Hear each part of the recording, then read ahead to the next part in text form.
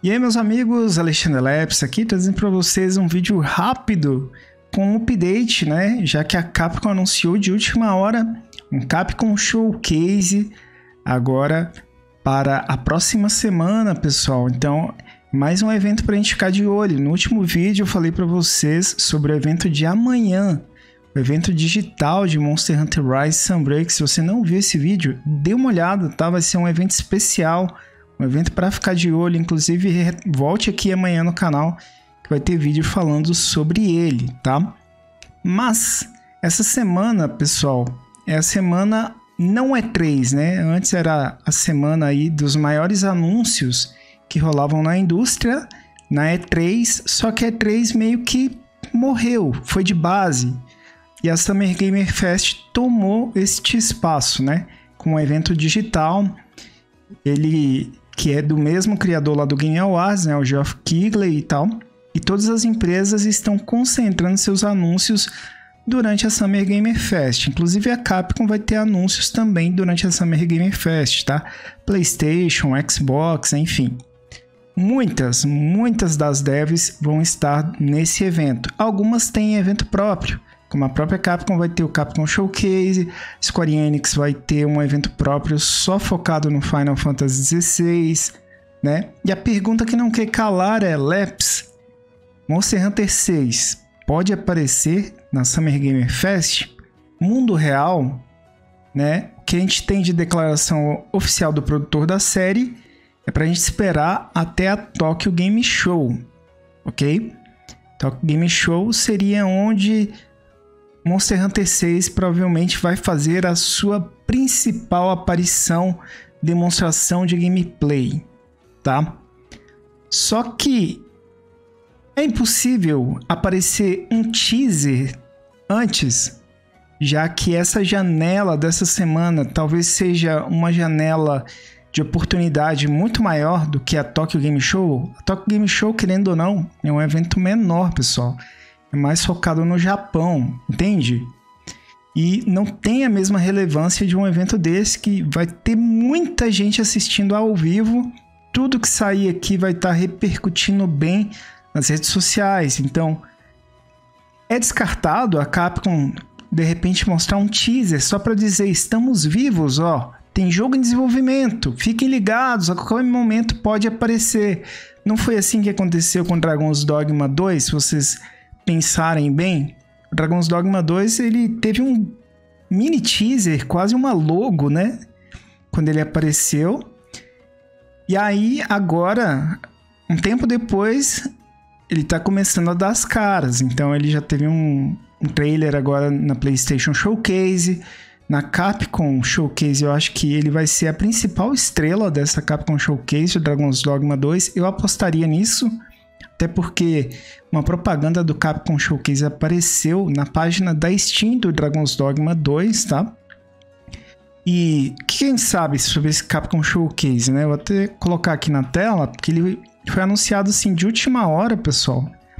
Então temos aqui, ó, não perca o Capcom Showcase, um evento, um evento digital com as últimas novidades da Capcom, né? Teremos o prazer de compartilhar com nossos fãs de todo mundo as novidades sobre os próximos títulos e lançamentos.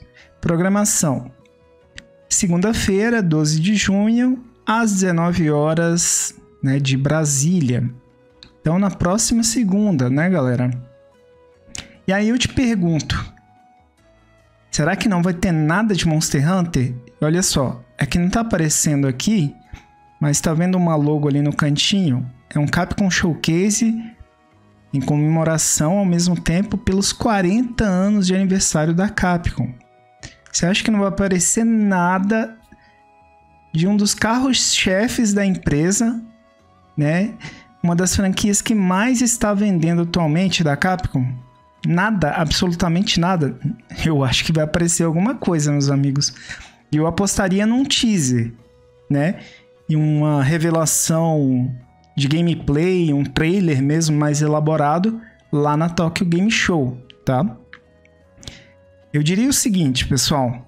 A partir de amanhã rola o evento de Monster Hunter Rise Sunbreak. fechamento do jogo. Até falei sobre isso já. Amanhã vai ter vídeo sobre isso, falando sobre tudo que foi anunciado lá, né? E a partir desse momento, a Capcom vai virar os holofotes dela pro próximo jogo da franquia. Vai perder essa semana de Summer Game Fest sem falar nada do próximo jogo? Olha, eu ficaria de olho a partir de amanhã, evento digital de Sunbreak, quando eles meio que oficializam o final, né, de Sunbreak, não vai ter mais eventos, não vai ter mais anúncios. Eu acho que a partir desse momento, é bom a gente ficar de olho em, em todos os eventos que vierem pela frente. Se vocês olharem aqui a como foi com Rise, né? Rise apareceu em 17 de setembro. E o anúncio do Fatalis ó, aconteceu em 28 de agosto de 2020. Ou seja, o anúncio de Fatalis foi o anúncio do final do Iceborne, assim como o evento digital de amanhã vai ser o final do Sunbreak, né?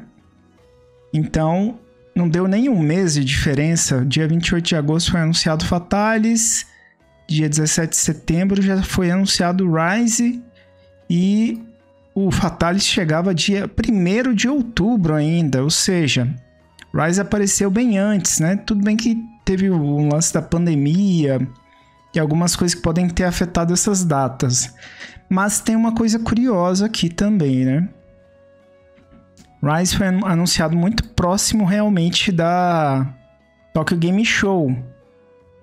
Ok? Porque se você pensar, dia 17 de setembro, se eu não me engano, é poucos dias antes da Tokyo Game Show. Então mostraram um trailer e na Tokyo Game Show debulharam o trailer e mostraram gameplay já do jogo, né? Então se for seguir a mesma janela, Monster Hunter 6 pode realmente aparecer de verdade só lá na Tokyo Game Show, tá? Então por isso que existe a possibilidade de aparecer numa Summer Game Fest da vida, mas se aparecer vai ser alguma pista, logo coisa menor, teaser.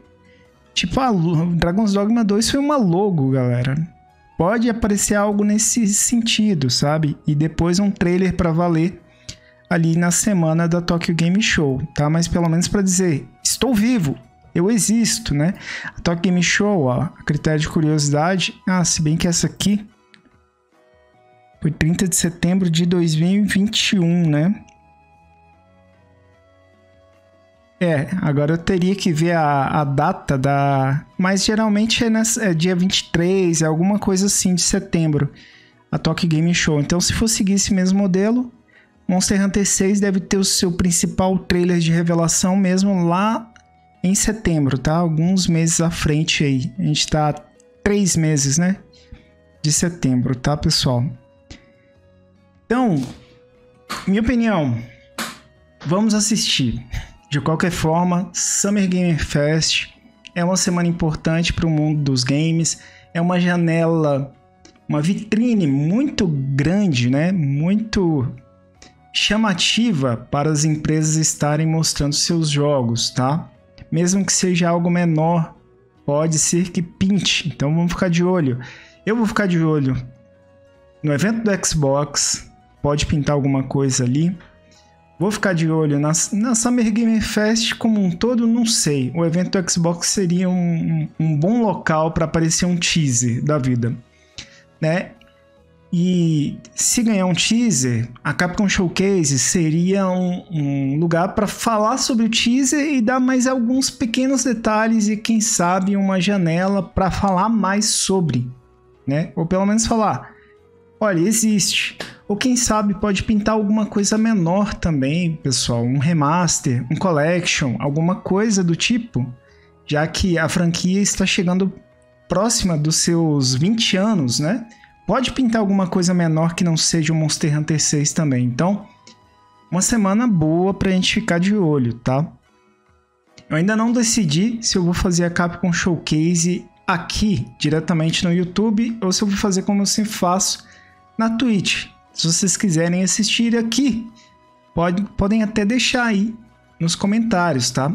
É, eu ainda não decidi como eu vou fazer a minha cobertura da, da Summer Game Fest como um todo, né? Tem a cobertura do Xbox aí também.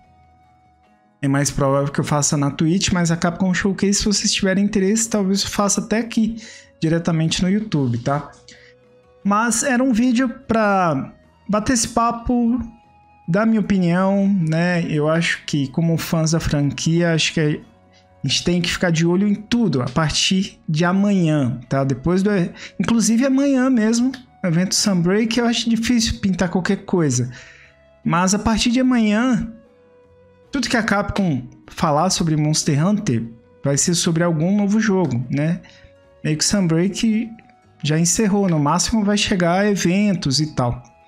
Beleza, pessoal? Então, olhos abertos, ativem o sininho do canal, que qualquer novidade a gente lança um vídeo de emergência, de plantão, né? E eu trago aí para vocês, tá bom?